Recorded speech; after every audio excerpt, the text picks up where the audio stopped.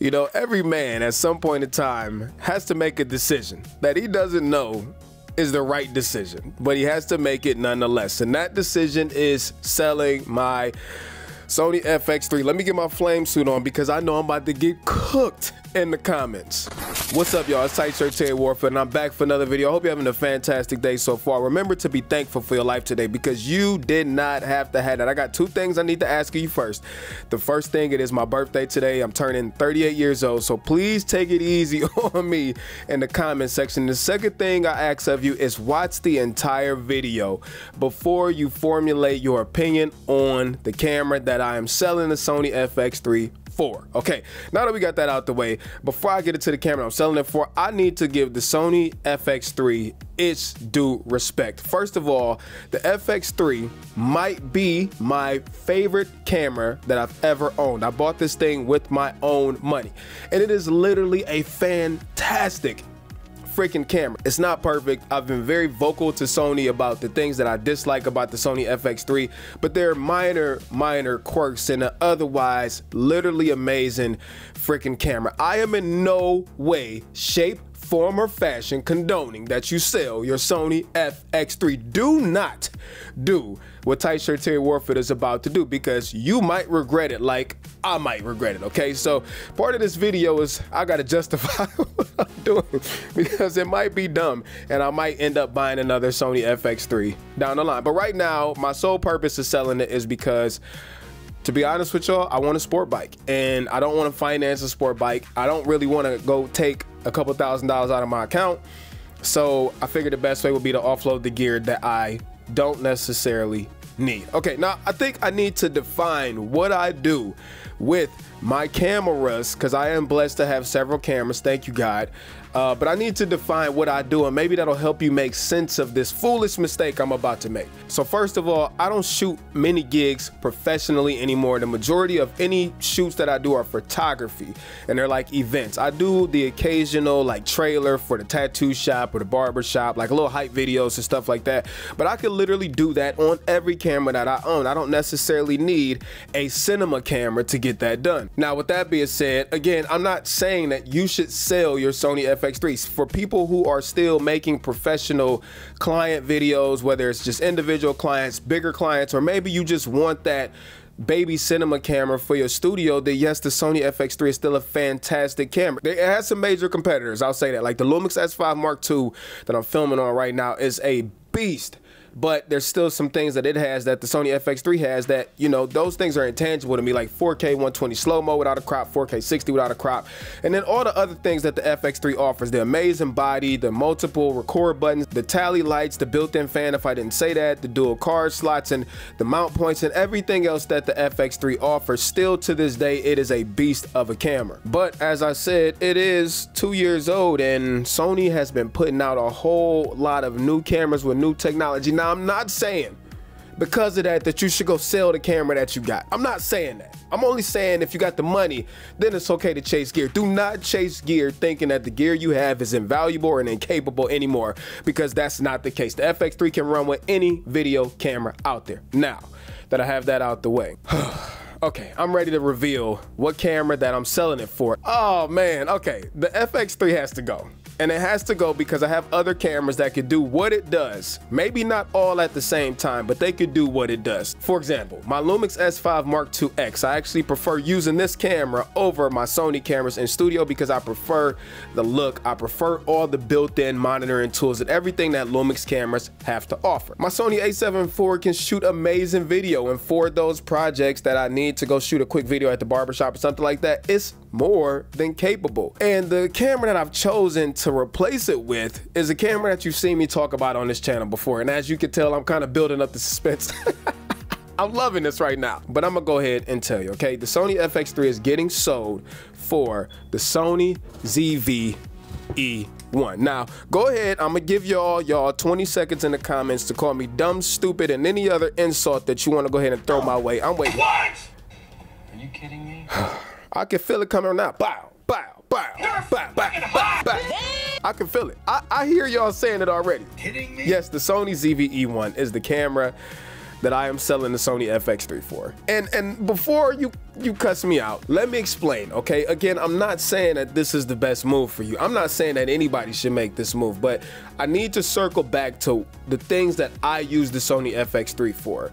Yes, I'm so happy that I have it. It is very expensive though. It's 3800 bucks. And the Sony ZV-E1 for my use case, okay? My freaking my use case is more than enough. It gives me majority of the things that I get in the Sony FX3 that I use on a day-to-day basis. Terry, what are those things? Things like amazing image quality. It is literally the exact same imaging chain as the Sony FX3 Mini. The video looks exactly the same. It's got the same dual base ISO. It's got the same level of dynamic range. It's got the same set of frame rates and resolutions, which means Terry can still do 4K 60 at 4K 120 uncropped pretty much, unless you go 4K 120 with the Sony ZVE1. The second thing is I do not like taking my Sony FX3 out. I get insurance, I get all that stuff, but at the end of the day, it is still a $4,000 camera and it looks freaking expensive. The Sony ZVE1 does not look expensive. This looks like any other $1,000 camera out there. And I realize I'm giving up some things. I'm giving up dual card slots. I'm giving up a built-in fan, which is crazy, right? Because I always talk about built-in fans and how I cannot stand overheating. I'm gonna get back to that in one second. But I'm giving up tally lights everywhere. I'm giving up the industrial design and mount points. I'm giving up things like uh, EI. I'm giving up things like built-in anamorphic support. But all of those things for me are really not that big of a deal because first of all, I didn't feel like Sony's implementation of those features were the most robust. They're still more robust on my Lumix cameras. And also, when do I really use those things? I don't really use anamorphic lenses. I don't really use cinema lenses. I'm okay with not having Cine EI as long as I have S-Log3. I never output RAW over HDMI, but then I pick up things with the Sony ZV-E1 like a lower cost number one that we just talked about. Number two, a better autofocus system than the Sony FX3 has. Remember at the beginning of this video, I said that the FX3 is starting, starting to show its age, right?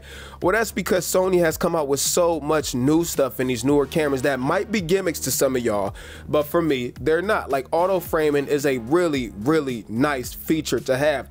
Dynamic stabilization okay? If you use a wider lens like a 16 to 35 or something like that or one of the ultra wides like it is so good. And being able to get that level of stabilization in the camera this small without needing the gimbal as long as i'm using a, a wider lens yo it is really, really game changing. Plus the features on the screen, like being able to touch the record button and all that stuff, those are clutch. Now, some of you will argue, well, I got physical controls on the Sony FX3. And yes, that has been an adjustment because I much prefer physical dials and buttons. And the ZV-E1 is missing some of those. But then I pick up things like the built-in vlog mic, which is a really, really good mic as long as you are not in super challenging scenarios a lot of videos I've recorded with this mic and people did not realize that I was not using an external mic. It's really good in the pinch where you don't have an external mic with you. And it's also good when you want to travel and pack light. It's got a microphone in it that you can depend on that works really, really well. Now to touch on the overheating thing, because I made a big deal about the Sony ZV-E1 overheating when it came out.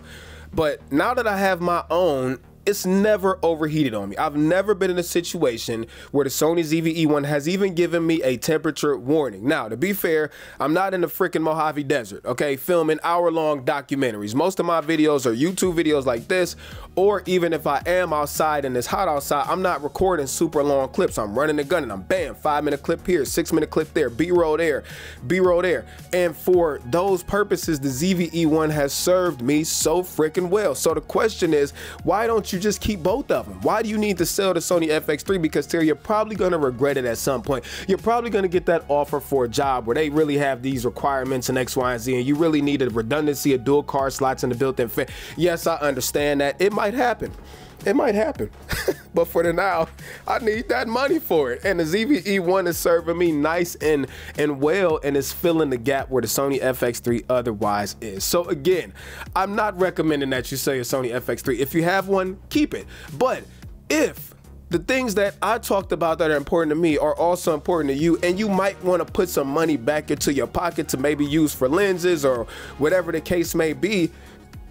Hey, the ZVE1 can stand in the Sony FX3's shadow and actually bring in some ways more to the table than the Sony FX3 can. So with that being said, yes, the FX3 is going up for sale. I'm going to miss it. And again, I might regret it. And if I get into a situation where I need another one, I will finagle my way into another one. You can bet that. I'm the master finangler when it comes to technology cameras. I will figure out a way to, to hey, I'm a freaking get one if I want another one, okay? But uh that's my that's my justification for it. I know a lot of y'all gonna ask what microphone am I using. This is actually the DJI mic, and I want to shout out Original Dobo because he 3D prints these handles. So let me show you real quick. The DJI mic is actually right there. Can you see it? Okay, so that's the DJI mic. It sits right on the inside, and he made this handle that actually has a mount to it also that you can put on a mic stand. Let me get it. So you will put this back on, and then you can mount it right to a regular mic stand. So these things are freaking clutch. I'll leave a link in the description if you want to grab one. So that is my justification. That's the reason why I'm selling the Sony FX3. I'm going to miss you so much, baby.